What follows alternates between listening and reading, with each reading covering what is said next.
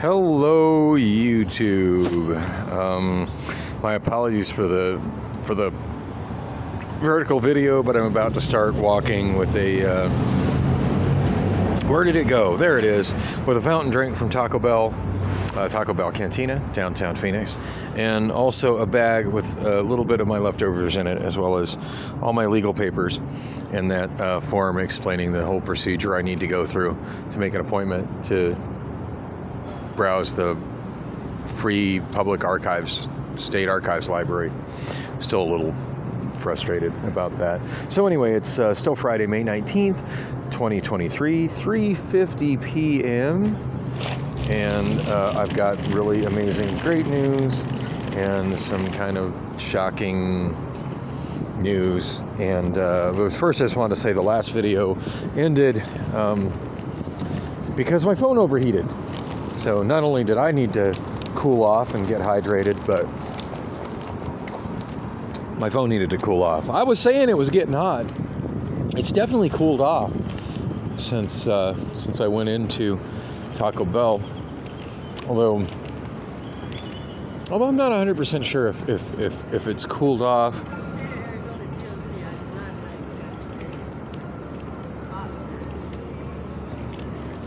100% sure, like if, if it's cooled off or if. Uh, feels like it's cooled off. Maybe I've just cooled off, you know, and got hydrated. That could be it. So, um, anyway, uh, ooh, wow, there's fixing potholes out here. Uh, wow. There's a sign I've never seen before. Lift that way. Guess that's the let the people know that if they called for a lift, not to wait for it right here. So, um, so yeah, uh, I may as well just cut right to the chase. Um, my car's finally finished. I can go pick it up.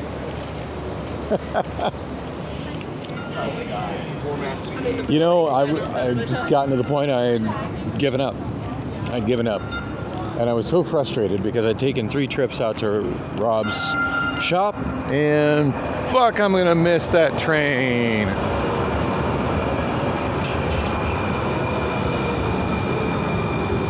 Whoa. Bryan Adams with Joan Jett. That sounds fun. Rod Stewart in concert with Cheap Trick. Wow, how old are they now? I've seen Cheap Trick, uh, Cheap Trick live a couple of times. They put on a great show, but man, they were old the last time I saw them. That was in like, God, what year was it? Probably, oh goodness, 19, 1990? Maybe 91? I think that's the last time I saw them. Uh, was it the Jefferson County? It's either the Jefferson County Fairgrounds or the Adam County Fairgrounds in uh, Colorado for a KAZY festival show. Put on a hell of a show, but God, they were kind of old then, and that was a long time ago. Oh, yep, I missed the train. I probably could have ran and caught it, but yeah, I ain't, I ain't running nowhere. Uh, Phoenix PD now hiring. Call the recruiting team. I don't know why I'm promoting that. I just been seeing that stuff everywhere. So not happy with Phoenix PD. You know, they could have just they could have just said that my story and their story didn't jive and that both of us did things at Costco. You know, that both of us did. I don't know how they consider that him brandishing a weapon at me is acceptable, but me defending myself against this brandished weapon is assault.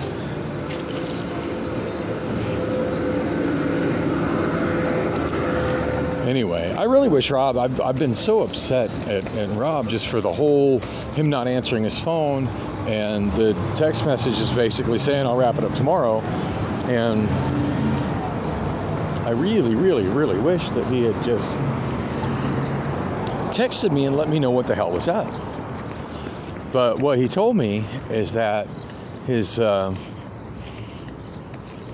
his mother, who's like in her 80s, uh, slipped and fell in the bathtub, probably taking a shower, you know, shower tub combo kind of thing.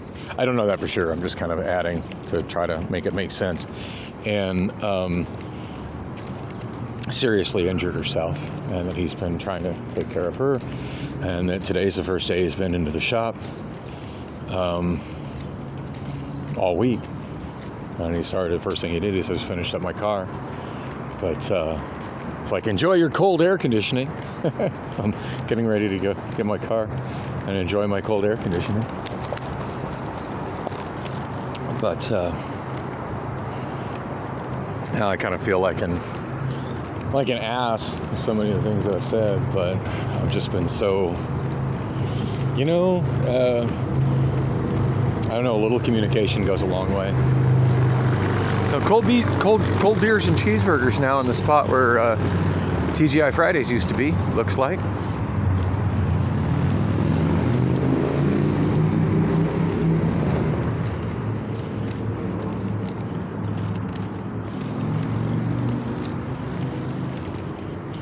My brain's been going in places I could pick up another karaoke gig. I don't know why I'm wanting to do that again, but I am. I really need to focus on getting my damn Amazon job back and getting that appeal, not letting the time go on it. Uh, I told Rob about what happened with Costco. He really thinks that I should go in and try to talk to the management at Costco. I don't know. I kind of want to use my attorney to get get a copy of the uh, get a copy of the video, the surveillance video from that night. Assuming I still can, not all places keep it so long, but get a copy of the surveillance video and um, and uh, just kind of see, you know, because I mean, everybody's memory isn't perfect, and and certainly my mental state was not particularly good. But I, I, still feel like he came at me aggressively and unnecessarily when he should have just seen that I was in the process of checking out a scooter and just given me space and not said a damn thing to me. Let me go about my business of checking out a scooter because what was I going to do once I checked out the scooter? Probably I was going to leave. Wasn't that his goal? To have me leave? So don't bother me and I'll leave peacefully. Like, just.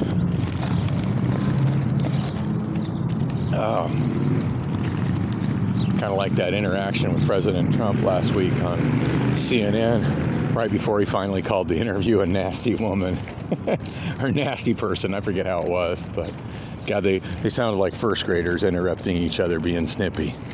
But uh, but yeah, he uh, uh, he um, um, yeah, and I'm sure, you know, I mean, my reaction to him was not exactly the most positive thing, but in my defense, I was really in a fragile condition. But certainly he brandished a weapon at me before I did anything in defense. And really, which is the more dangerous thing? Little tiny landscaping rocks or pepper spray? Anyway, the whole thing is just freaking ridiculous, and I can't believe that the police would would bother to charge that. Yet they just let people smoke fentanyl all up and down on the other side of the building in large groups. Apparently, that's acceptable, but defending yourself against a, a rogue. Uh, defending yourself against a uh, rogue uh,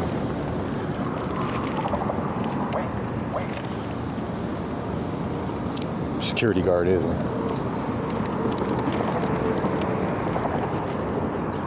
I'm not sure why I'm still walking. I just when I just miss a train like that, it just sucks to sit and wait for the next one. But I have I have no way of knowing if I keep walking this way if I'm gonna make it to the next stop before the next train makes it to the next stop. But I don't know. At this point, it's been really therapeutic to just walk and talk. And uh, if anybody's listening, thank thank you for your support. So I still have been unable to remember what the hell it was that I was doing before I walked over to Chase Bank, and it's really bugging me that whole whole memory hole thing. Like, and I had Rob not called, I was actually getting ready to go back through the videos and see if I could watch that and figure out where the heck I was coming from. Because I distinctly remember walking across from like the main strip mall area. But I don't recall I don't recall going into any of the businesses there. Wow, look at that electric motorcycle scooter thing. It had music on it too. He's moving pretty quick. I'm curious at what point, like, you need to have license plates on something like that. And he was far enough away from me, I couldn't see if he had plates or not. But he's moving damn near as fast as the rest of the traffic.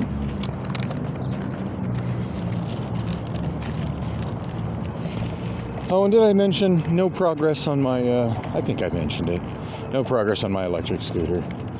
Uh, my friend came over and we tried to work on it uh, one morning this week. I think it was Tuesday morning, maybe Wednesday morning, early in the morning.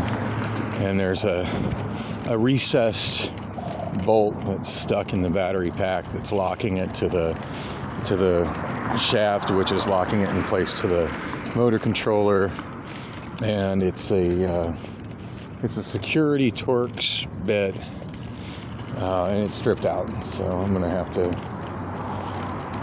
I'm gonna have to get a drill. Hello, all these things that I need to do, like they're gonna be a lot more doable as soon as I make it to my car. I just need to make it to my car. Of course, I could I could I could take a Waymo to Rob's shop, but I'm absolutely worried if I try to do that again, that it's once again going to, hey, it was there at 1. You know, I totally could have stopped at that last bus stop over there and caught the Route 1 and probably got to 44th Street quicker than waiting on the train. The whole Route 1 train thing here is just so weird to me. But I mean, I get the purpose of the Route 1. The Route 1 stops roughly every quarter mile, whereas sometimes this train goes two miles without having a stop. Um, so my brain keeps going back to me walking over to Chase Bank and then not knowing why I walked. So I closed my personal checking account at Chase Bank. Um, last November, and I'm sure they sent me a notice, maybe an email, maybe a written notice, and I'm sure I ignored it. Because seriously, with all the crap I get from all the banks, I, I can't read everything. Oh, and let's not forget, I had that whole period in time where the uh, where the mailman decided because I wasn't emptying my mailbox that I no longer lived at my address, and all that mail just magically disappeared or got returned back to sender or whatever. Anyway, I never saw any notice that my free checking account, my free personal checking account that's never had any kind of fees whatsoever, which I have had for decades. I mean, I'm not sure how many years. I, I feel like, I mean, I opened it long before Lily was born, though. SME Rapid. I have no idea what that route is. I have never heard of that one before. Gonna have to look that one up. Um, anyway, the uh, um, yeah and and for me to explain, well, I mean, I guess I don't have to explain all the history of my my numerous bank accounts, but they all exist exist or existed for a reason. And generally, I've just kept them all because why the hell not? Know, park a little money in there, use it when I need it. And I guess this is when I kind of kick myself in the ass for not paying more attention to stuff. But I never really worried much about that account because, well, didn't didn't use it much, and it was a free account. Opened it a long, long, long time ago. Um, and I guess to fully explain that, I guess I, guess I got to explain a little bit about what's happened with my checking accounts over the years. So every now and then I mention about how my Wells Fargo account, how it says on it card member since 1996, I think. This is something the tellers comment all the time. They're like, "Whoa, your your account's your account's older than I am," and um, which you know. Uh, which I, I feel like it gets me a certain amount of respect at Wells Fargo Bank. Usually it feels like it does. Wow, that is a really awesome building that looks like it is not in any use at all.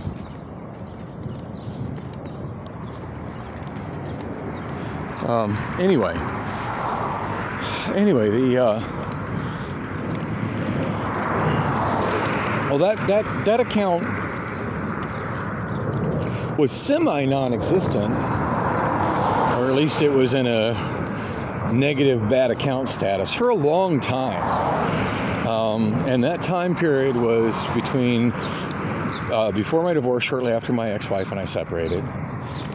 Um, and, and, my divorce, the, the thing that was the craziest about my divorce is my ex wife and I had the same first name. So her married name is the same as my name. And it, it was really adorable and cute and funny until it until we weren't together and then it wasn't. So yeah, she had no problem using accessing my banking stuff, even stuff that I had from you know prior to me being married. You know, I mean, a, a, a, a, married couple in Arizona has marital power of attorney where one spouse can do something on behalf of the other spouse. But generally speaking, like they need to be a signer on the account. The banks will still kind of stop it to a point. But nobody really questioned questioned her messing with stuff of mine, even after we separated, because she had an ID with a matching name. Look, looked legit. And to be fair, I don't know if I overdrew that account or if she overdrew that account. I know she was messing with it, but I know I was in dire straits financially after we had separated. City of Phoenix, 1101 East Jefferson Street Transportation Department, Traffic Services. Traf- Street Transportation Department, Traffic Services Field Offices, Office and Training Center. Wonder what all they do there.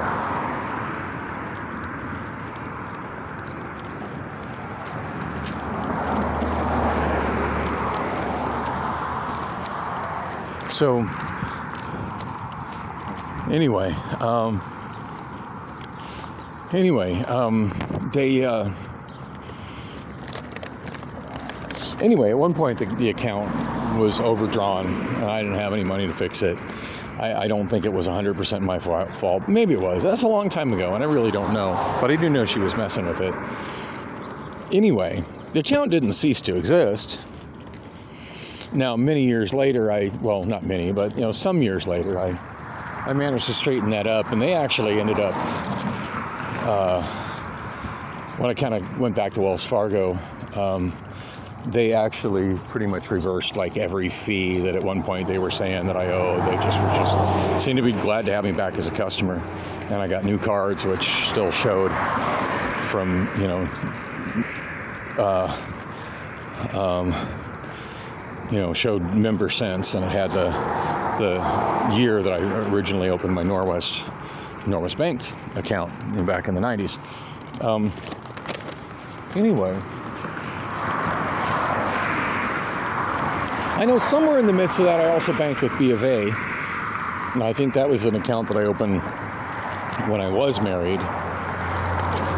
So I remember going through hell trying to get the wife removed from that account which has nothing to do with what went on at Chase. Anyway, to get back to the Chase thing, it, there came a point where I just stopped banking. I just simply stopped banking. Seemed like the only way to keep keep the ex-wife out of my stuff. And um, I finally made it to the next light rail station. So anyway, I stopped I stopped banking and she uh, she stopped messing with my banking. And I learned how to live without a bank account. It can be done, people do it. And generally speaking, uh, the majority of my income was all cash all cash gigs. Mostly karaoke, mostly DJ, mostly karaoke, cab driving, whatever, just cash. I wasn't, I didn't need a bank account for any of that. My my whole my whole thought at that point was fuck banks. I'm over it. That caused me way too much disaster after my divorce, and uh, yeah, solve that problem. I won't bank anymore. And it was all well and good until I landed a karaoke gig at a Wait. corporate franchise location for uh, The next eastbound train will arrive in two minutes. Two minutes. This is pretty perfect timing. That was a nice walk. Um, so, so yeah, the the next. Uh, anyway, so no, I got to rewind back farther than that. Sorry, no, I had some place that I was hosting karaoke for before TGI Fridays. I don't remember who it was. Anyway, they insisted on paying me with a check. It was a pretty sizable check. Um, at that time, I was already a, I was back to being a cab driver for uh, VIP taxi. Back to being a cab driver for VIP taxi, and they were. Uh, All these historic Phoenix things. Um,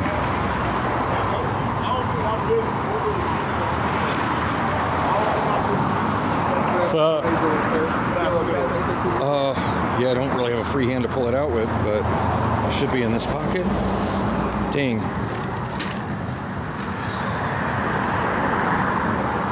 Shit. That should happen like close to the end of the week. Yeah, I think it's May. I think Yeah, it's in May. So production, and even that is very. Dang, it's not in that pocket. Stand up for like 20 minutes. Yeah.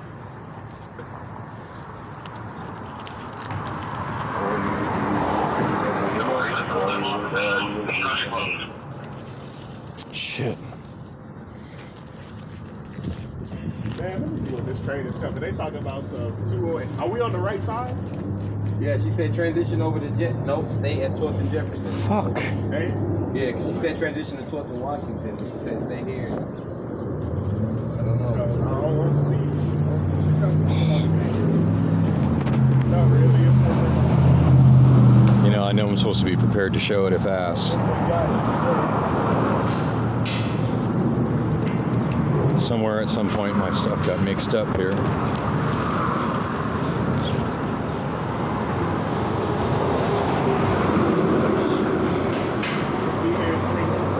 I'm gonna have to wrap this up because I need to find my bus pass. But um, I guess I'll explain the banking situation later because I need to organize my pockets and they need to see my bus pass, and I don't seem to know where it is right now. Thanks for watching.